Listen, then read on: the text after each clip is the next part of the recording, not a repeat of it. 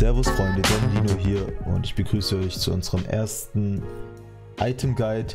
Ähm, das wird eine Reihe. Heute werde ich euch nur Relics und ähm, Consumables vorstellen, also auf Deutsch wahrscheinlich Relikte und Verbrauchsgegenstände. Ähm, und dann werden wir uns äh, nachhinein irgendwann mit dem nächsten Video mit den physischen Power-Items und so beschäftigen und werden allgemein darauf eingehen, wann es sich lohnt, diese Items zu holen, wann nicht. Aber mit den allgemeinen Items warten wir jetzt noch bis äh, Season 7 sich ein bisschen eingeklinkt hat und weil sich da ja auch ein bisschen was an Items ändert, dann haben wir direkt alle Items dabei und äh, machen nicht jetzt eins und plötzlich kommen fünf neue Items und die haben wir nicht erklärt. Darum warten wir mit den restlichen Sachen. So. Zu den Consumables jetzt erstmal. Ne? Wer noch nichts weiß, wer alles darüber weiß, ist gut. Falls ihr noch was zu ergänzen habt, äh, lasst es in den Kommentaren wissen. Ähm, ich rede einfach ganz kurz drüber, äh, wann es sich lohnt, etwas zu holen, wieso oder wann er nicht. Also ganz einfach, HP-Pot, ups, das wollte ich nicht. So. so, genau. What the fuck? So. HP-Pot ist ein super starkes Item, ne? also das wird oft unterschätzt. Ich kaufe es auch manchmal im äh, Late Game, weil du kriegst einfach 250 Leben über Zeit. Und dann setzt man zum Beispiel kurz vorm Kampf das Pot ein äh, und geht dann in den Kampf, weil 250 Leben ist nicht wenig, Leute. Noch stackt es sich mit Chalice, deswegen könnt ihr das ruhig benutzen, aber später lohnt es sich nicht mehr beides zu holen, weil das einfach keinen doppelten Effekt mehr hat. HP-Pot, super Item. Vor allem, wenn ihr auch ADC spielt, Leute. Ähm, ich würde immer in dem Fall die Multipod, den Mana-Pod bevorzugen. Also kauft als ADC nicht HP und Mana-Pods. Ihr braucht die nicht, wenn ihr Hunters Blessing holt. Wenn ihr Hunters Blessing holt, ähm, Hunters Blessing gibt euch MP5 und nochmal bei jedem Auto-Attack kriegt ihr nochmal ein bisschen was ne, an Leben auch zurück.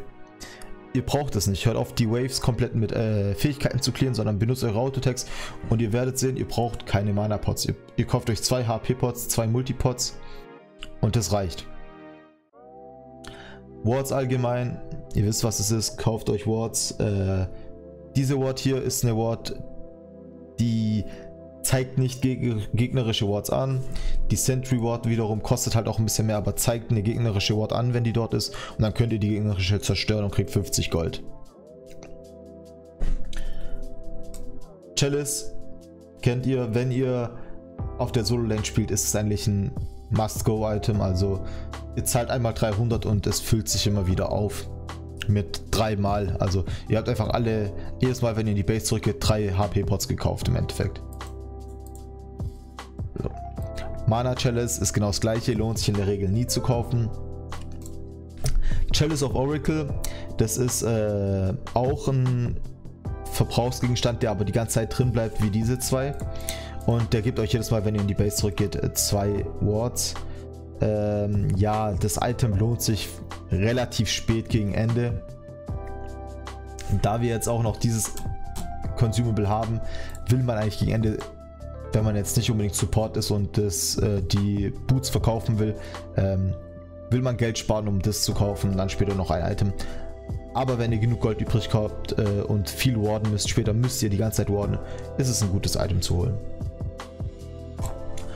Ähm, Powerpot nennen wir das ganz klein, äh, ganz knapp. Äh, ist ein Pot, das könnt ihr für 500 Gold kaufen. Ihr kriegt 30 Power und ähm, eure Fähigkeiten machen nochmal 15% extra Schaden. Super Item. Äh, sowas ähnliches gibt es auch für magische. Äh, hat ein bisschen andere Werte, aber super stark. Und ihr solltet immer, wenn es später auf das äh, Late Game geht, wenn ihr die Möglichkeit habt, ein Item zu ein Tier 1 Item zu kaufen, sagen wir, ihr seid jetzt äh, gerade am Beenden, geht in die Base, äh, kauft alles ein, dann könnt ihr vielleicht hier noch Morningstar holen, ne? Aber Morningstar kostet 600 und ihr wisst, das wird jetzt so der Endkampf, dann würde ich euch immer raten, kauft euch ein Powerpot, Weil ihr habt viel mehr. Das ist fast ein ganzes Item, was ihr hier habt. Und ihr braucht, ihr braucht nicht noch irgendwas Neues anfangen, wenn es gegen Ende zugeht. Oder wenn ihr gerade verteidigen müsst gegen Ende und es geht gerade um alles, dann kauft euch lieber einen Powerpot statt irgendein Item der ersten Stufe. Elixir of Speed kennen die meisten, ne? Ähm, wenn ihr komplett Full Build seid schon fast, fehlen nur noch die äh, Schuhe, verkauft ihr die Schuhe und kauft euch das. Aber kauft euch das erst, wenn ihr genug Gold habt. Oder andersrum, verkauft die Schuhe erst, wenn ihr genug Gold habt für ein komplettes Item. Oder Minimum ein Tier 2 Item wie das hier. So, dann habt ihr nicht so viel Einbußen, weil, okay, ihr habt jetzt äh, statt 40 Power habt ihr 25, aber ihr habt nochmal 10 Penetration. Das heißt, es gleicht sich irgendwie aus. Aber für sowas hier nie die Schuhe verkaufen.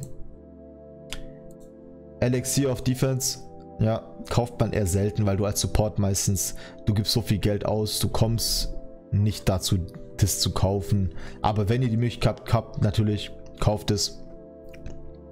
Weil es hilft auch zum äh, Siegen von äh, Türmen und Phoenixen und so. Und natürlich Elixir of Power wenn es gegen Ende ist und ihr braucht einfach noch einen Pust, super stark. Kauft es euch. Wenn ihr stirbt, geht es trotzdem nicht weg. Wenn ihr bei den Powerpots stirbt, die sind halt weg. Also die beiden bleiben. So. Dann kommen wir noch vorher zu den Start-Items. Äh, genau, also. Assassin's Blessing ist einfach, was ein Jungler braucht, um im Jungle überleben zu können. Es gibt kein anderes Start-Item, wo du so extra Leben kriegst, wenn du Viecher tötisch, tötisch, tötest im Jungle. Deswegen kaufen, ne? also ihr kriegt Leben, ihr macht extra Schaden an Jungle Camps ähm, und ihr kriegt nochmal ein bisschen Pen und Movement Speed, wenn es auf maximalen Level ist. Attacker's Blessing ist ein äh, Starter-Item, das holt man, das gibt es im Conquest nicht, aber im Joust, in Arena, wenn man schnell Power haben will. Das gibt dir super Power Spike. Ähm, genau. Gutes Item. Kriegt man 20 Power, 10 Penetration oder in dem Fall 25 Power. Defender's Blessing ist auch so ein Ding, wenn man im Joust oder auf Deutsch Scharmützel spielt oder Arena und man spielt relativ aggressiv, aber will trotzdem gut Verteidigung am Anfang haben, dann holt man sich das hier. Guardians Blessing, Support, ne? jeder Support äh, oder der, wo auf der Support-Rolle ist und der, wo ähm, Geld braucht, Geld ausgeben muss. Als Support musst du Geld ausgeben, sollte sich Guardians Blessing holen. Ihr kriegt nicht nur äh, extra Gold pro Minion Assist, ihr kriegt auch noch MP5 und HP5 pro Minion Assist. Also ist ein super Item. Ihr braucht es als Support, ne, um überhaupt mithalten zu können. Dann zum nächsten Hunter's Blessing. Das haben wir ja schon erwähnt. Also ich würde Hunter's Blessing immer einen Tier 2 Transcendence bevorzugen, weil ihr einfach diese Sustain habt dadurch. Ne? Also ihr, ihr könnt statt Mana-Pots, Multipots oder sogar einfach nur HP-Pots holen, wenn ihr richtig smart spielt. Ähm, und ihr kriegt halt 15% Attack Speed ne? und 15% äh, Bonus Schaden auf eure Auto-Attacks. Äh, 15 Bonus Schaden, sorry, nicht 15%. Super Item. Also ich würde es immer einem Trans Rush äh, bevorzugen, außer ihr spielt jetzt in der Midlane. Dann würde ich auch einfach auf Tier 2 Trans gehen, weil ihr kriegt auch super Gold. Äh, das geht schnell. Specialist Blessing. Ja, wann kauft man das? Ich weiß nicht, wenn ihr jetzt meint, ihr, ihr kommt nicht anders klar und spielt Heal oder so und ihr verbraucht viel zu viel Mana, könnt ihr das holen auf der Solo-Lane, aber es lohnt sich nicht. Also da geht man lieber schnell auf äh, Schuhe herüber. Guckt, dass man die Cooldown-Schuhe schnell genug kriegt. Und dann noch ähm, Doom Orb. Und dann geht es. Also das würde ich eigentlich, ja, es gibt selten Grund dazu, das zu holen. Magi's Blessing. In der Regel starten heute ja alle mit äh, Boots, Bancraft oder ähm, Book of Toth. Und man kann trotzdem Magi's Blessing noch holen auf bestimmten Göttern. Also wenn man zum Beispiel jetzt ein Ra spielt und man will nicht Boots rushen, sondern ein bisschen länger auf der Lane bleiben, dann holt man sich Magi's Blessing und halt äh, zum Beispiel Anfangsteil von Chronos Pendant. Ne? Gucken wir mal. Ja, Power gibt's nur Magic. Physische hier. ja, darauf kommen wir später. Also, das ist dann später, werden wir das in den allgemeinen Item Guides dann nochmal sagen. Aber auf jeden Fall, ja, ihr könnt es zum Beispiel mit Anfangsteil von Chronos Pen zusammenholen. Oder meinetwegen mit Tier 1 von Bancraft. Geht klar. Warriors Blessing, nicht viel zu sagen. Warrior holen sich das, sind extrem äh, tanky dadurch schon mal am Anfang. Ne? Und wenn es fertig ist, kriegen sie nochmal äh, Verteidigung 15 auf beider Seiten. Kommen wir zu den Relics. Wir fangen einfach mal von links oben an und dann gehen wir runter. Cursed Ank. Cursed Ank ist halt ein Relic, was ziemlich selten gekauft wird. Ist mir aufgefallen, also vor allem im Low-Bereich.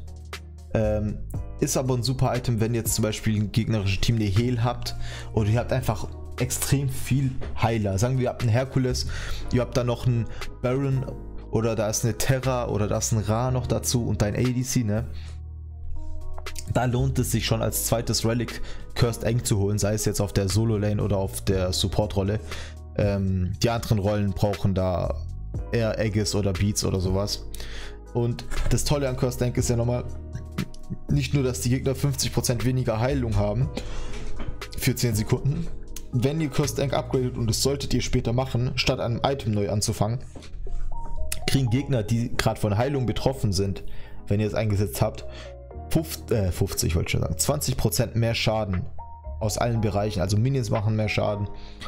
Äh, jeder Gott macht mehr Schaden bei denen. Also das ist heftig, ne? Auch Tower.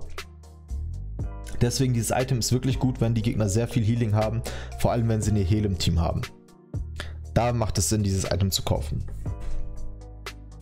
Aegis Amulett muss man nicht viel sagen. Ne? Wenn ihr jetzt äh, gegnerische Kombos habt, die einfach mit einem Schlag dich auslöschen können, so äh, zum Beispiel sagen wir ein Kukulkan oder ein, ein Poseidon.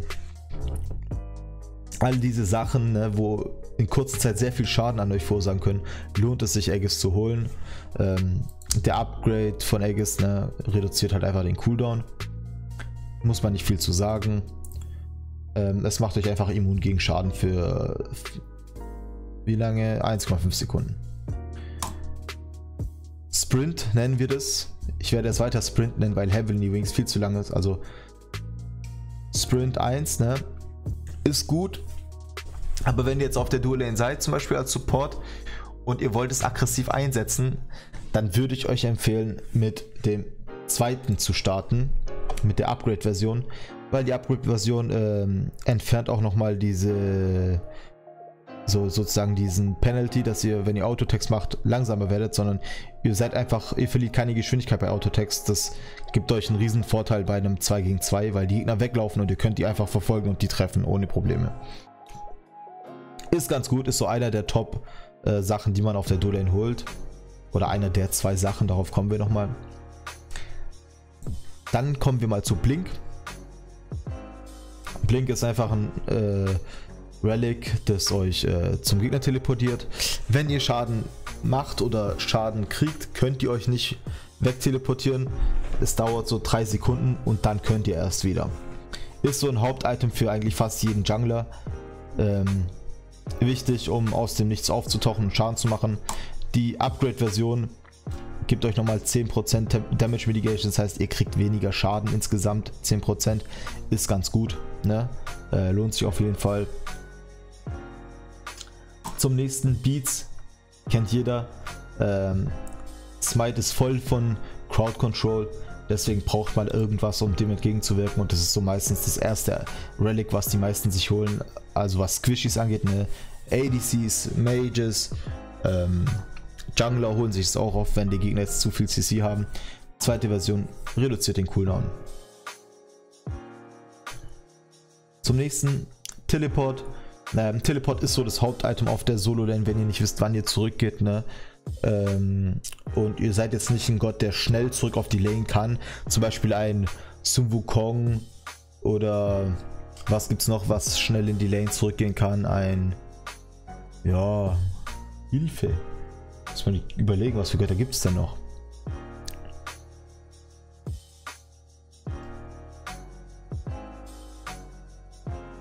Ja, zum Beispiel eine Pele oder so, die, die schnell Movement Speed haben oder sonst was. Also der Summon kann ja einfach rübergehen und er ist da.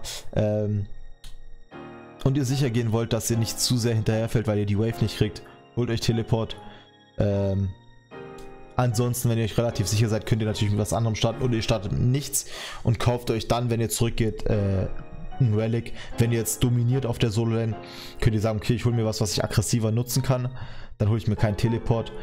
Ähm, aber Teleport ist halt auch so allgemein ziemlich gut, vor allem die zweite Version. Damit könnt ihr euch auch zu äh, befreundeten Wards teleportieren und das ist ganz gut im Midgame. Könnt ihr aus dem Nichts halt in Teamfights auftauchen und gut helfen. Meditation. Meditation ist so ein Item, ja, es ist gut, aber nicht in allen Situationen. Also ich würde es auf der Dual Lane nicht Shell bevorzugen, es sei denn, die Gegner haben einen Execute, das heißt, die haben einen Thanatos, einen Ao Kwang, wo man sagen könnte, okay, wenn jetzt mein ADC low wird, kann ich Meditation einsetzen und kann ihn aus diesem äh, Exekutionsmodus äh, rausholen. Da funktioniert es, Shell kann das leider nicht. Ähm, aber Meditation hat halt diesen Nachteil, dass was halt in 99% der Fällen ist in Smite in einem Game ist, dass die Gegner Anti-Heal holen werden weil entweder dein Support oder dein ADC hat sehr viel Heal, dein Midlaner hat Bancrofts geholt Heal. Und wenn du Anti-Heal drauf hast und es geht ganz schnell mit zwei Items, hast du äh, fast 90% Anti-Heal drauf, sagen wir mal. Ähm, und du setzt Meditation ein, passiert einfach nichts. Du kriegst zwar Mana, aber Leben nicht. Und da ist Shell ganz gut. Shell, darauf hat Anti-Heal keinen Einfluss. Du kriegst gut Instant Leben ähm, und wenn du es upgradest, kriegst du nochmal was richtig Nices und zwar ähm, absorbiert jeder, der von Shell sozusagen eingekreist wurde, ähm, die nächsten zwei Auto-Attacks. Und bei dem ADC im Late Game können zwei Auto-Attacks schon mal gut 800 Schaden sein. Also ein Shell super Item. Wenn ihr nie wisst, was ihr auf der Dual holen sollt, holt Shell. Shell ist so das Haupt-Support-Item gerade. Shield of Thorns. Shield of Thorns ist ein Relic, ähm, was 40% des Schadens, den ihr erleidet, an den Gegner zurücksendet für 5 Sekunden. Äh, der Schaden wird magisch zurückgesendet. Ähm, und das Geile an Taunts ist natürlich, es ist gut bei Göttern, die über Zeit Schaden machen. Ähm, ein Merlin, ein Kukulkan, ne? So ist ganz gut. Und vor allem, wenn der Gegner, wenn ihr zum Beispiel seht, der ADC, gegnerische ADC hat zwei Lifesteal-Items geholt. Oder ihr habt Anubis als Gegner. Ne? Super, super Beispiel, Anubis hat zwei Lifesteal-Items, das machen ja viele. Dann holt ihr euch Shield of Taunts Level 2. Und wenn ihr das aktiviert, kriegt der Gegner nur 50% der Heilung als Lifesteal statt 100% und er kriegt nochmal diesen heftigen Schaden selber zurück. Also wenn du das aktivierst, wenn der Gegner disaktiv ist und du bist ADC oder du bist Anubis, greif ihn nicht an, vor allem wenn es ein Support ist, der das abgegradet hat. Du tötest dich selber. Also super Item. Holt man auch oft auf der Solo-Lane ähm, als zweites. Und im 1 gegen 1 ist es auch ganz gut. Thundering Spear. Ähm, dieses Item schießt nach vorne, er haut dir so lila Pfeil nach vorne, ne? Macht True Damage 15% des Lebens, ne? Also vom jetzigen Leben. Das heißt, wenn er 100, äh, 100 Leben hat gerade, macht ihr 15% von dem Leben als echten Schaden. Das heißt, die Verteidigung ist egal. Das sind äh, 15 Leben in dem Fall. Ne? Ähm, ist super. Ist ein super Item und nimmt ihn sehr viel Verteidigung. In diesem Fall hier. Ne? Davor war es, glaube ich, so, dass es sogar instant war. Jetzt, wenn ihr es upgradet, wenn der Gegner getroffen wird, ähm, kriegt er nochmal 20% extra Schaden. Ja. Das Item lohnt sich viel im äh, Scharmützel, im Joust zu holen, ne, im 1 gegen 1, wenn man sehr tanky Gegner hat. Ähm, Im Conquest, ja, findet es wenig Anwendung, es sei denn, ihr seid ein extrem aggressiver Support oder ein extrem aggressiver Solo-Laner, der am Anfang komplett eskalieren will. Dieses Item ist komplett nutzlos. Brauchen wir nicht mehr ignorieren. Vor allem im nächsten Patch hat das gar keinen Sinn mehr. Ähm, kann man ignorieren. Bracer. Bracer ist so ein Item. Das ist äh, am Anfang sehr gut. Ne? Also vor allem in Joust. Das ist so ein Hauptrelic in Joust.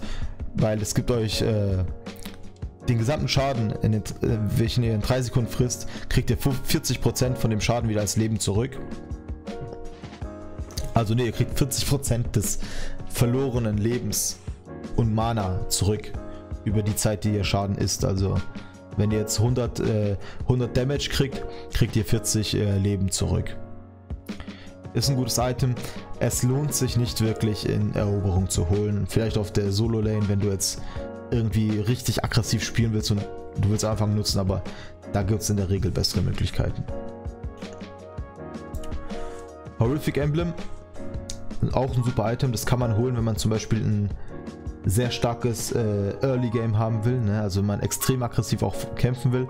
Es ist so, so ein Äquivalent zu Sprint, nur hat das hier ein Vorteil und ein Nachteil. Also der Vorteil ist halt, der Gegner bei der ähm, upgradeten Version oder sagen wir mal so bei der Standardversion hat der Gegner nur 15% weniger Attack Speed. Also der gegnerische ADC äh, schießt einfach viel langsamer als du und du hast deine normale Geschwindigkeit und er ist verlangsamt. Außerdem, ähm, wenn man es upgradet, macht es auf 25% und den ihr Schaden wird um 15% reduziert. Das Problem dabei ist, dass wenn man jetzt zum Beispiel äh, Sprint holt, ähm, Sprint den Slow von Horrific äh, cancelt, weil Sprint dich auch immun gegenüber Slows macht. Aber Horrific hat halt noch im Nachhinein gute Vorteile. Also wenn man jetzt zum Beispiel in den gegnerischen Phoenix oder so reingeht ne, und eskalieren will, ähm, ist es ein super Item. Oder wenn sie zu dir reinkommen. Also Horrific geht schon klar. Aber in der Regel als Support Shell holen. Dann noch zum letzten und eins der unterschätztesten äh, Relics ist nochmal Frenzy. Dieses Relic äh, holt man nicht als erstes, weil es einfach nicht fürs Teamfights am Anfang gut ist. Aber wenn ihr ein starkes Midgame habt, ne, wenn ihr ein aggressives Midgame habt, wenn ihr gut am Dominieren seid und ihr wollt einfach, ihr wisst, euer Team zieht mit und eure Kämpfe sind als Team und die eskalieren, ist es super. Also Frenzy gibt euch 10% erhöhten Schaden auf alles, also auf Fire Giant, Tower, Phoenix, Gold Fury und nochmal 15% Attack Speed. Und wenn ihr euch Frenzy holt, dann holt euch in der Regel direkt Upgrade Frenzy schon mal, sage ich euch.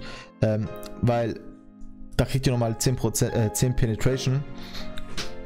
Und wenn ihr Frenzy einsetzt, ihr wollt einen Fire Giant rushen, es geht ratzfatz, Leute. Also, wenn es gut läuft, wenn euer Team mitzieht, Frenzy ist auch ein super Item, um richtig Power an den Start zu bringen. Und ja, also wenn ihr jetzt den Titan rushen wollt vom Gegner, aktiviert Frenzy, ihr haut den runter. Ne? 15% Attack, äh, Attack Speed bei jedem ist auch nochmal riesig. Super Relic auch. Also das war so allgemein zu den Relics und den Consumables und den Starter-Items. Ihr seht schon, wie viel Zeit auch allein das schon frisst. Ne? Also man kann das gar nicht alles auf einmal machen, weil das ist, sind so viele Items. Ich hoffe, das hat euch ein bisschen geholfen. Ähm, Wenn es noch Fragen gibt, haut raus. Wenn ihr Anmerkungen habt, haut raus. Wenn irgendwas falsch war, haut raus. Ich beleidige euch dann zwar, aber macht's ruhig. Danke fürs Zuschauen und bis zum nächsten Mal.